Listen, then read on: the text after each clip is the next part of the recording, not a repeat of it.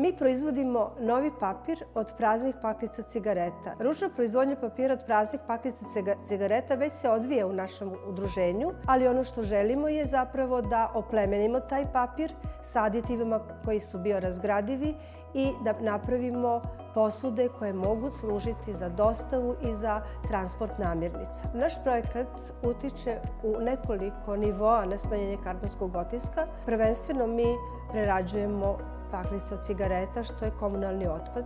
Ručno prerađujemo i ručno pravimo papir, znači ne trošimo električnu energiju. I naravno, ono što je jako važno, mi smanjujemo seču šuma jer koristimo papir koji je već bio u upotrebi. Ideju želimo da proširimo na 20 gradova Srbije i na taj način bismo formirali male održive zajednice koje bi dali, dale značajan doprinos smanjenju otiska u Srbiji. Ovo je taj komunalni otpad, odnosno prazne paklice cigarete koje mi prerađujemo i pravimo ove stvari koje se ovde nalaze najrazličitijih oblika i najrazličitije namene.